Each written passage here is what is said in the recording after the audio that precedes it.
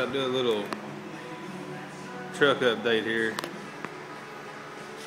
Got the uh, part of the frame here. Got it clamped up, getting ready to do some welding on it. Ain't done anything this thing for a while. Been driving around with no bed on forever. So, right here, I'm gonna weld it and it'll have a, a piece angled then back to here. What that'll do is give us plenty of clearance for the tire if we ever decide to go real real big on the tires.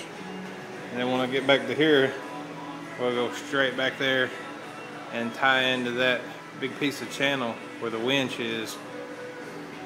And then this will all get covered in with diamond plate here and here. So